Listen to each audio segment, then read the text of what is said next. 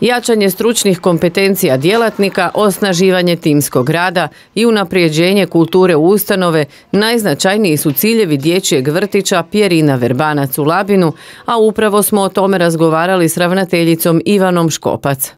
Ljudski resursi su nam vrlo važni, obzirom da oni predstavljaju temelj i nekako je imperativ na tome da se stvara jedna poticajno, jedno poticajno motivirajuće okruženje koje pruža prilike za različitim pristupima, edukacijama sukladno afinitetima i interesima odgojitelja.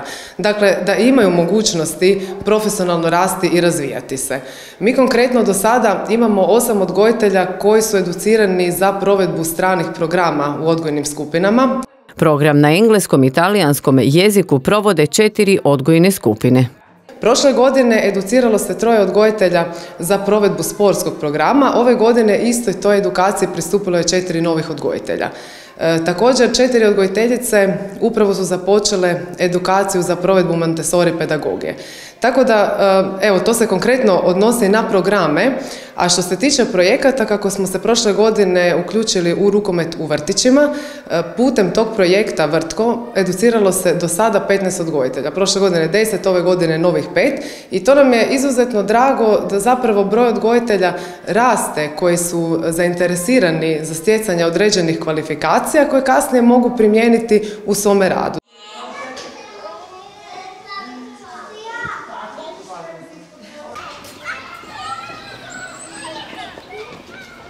Ja sam e, polaznica Montessori edukacije koja je vrlo konkretna i jako sadržajna, te mi je drago da ću moći budućem naraštaju primijeniti neku sasvim drugčiju novu metodu pedagogije. Isto tako veseli me to kao e, šta ustanova kao takva nam pruža e, mogućnost dodatnog educiranja i stručnog usavršavanja i kao šta možemo to provesti i pokazati u radu posebnih skupina po posebnom programu.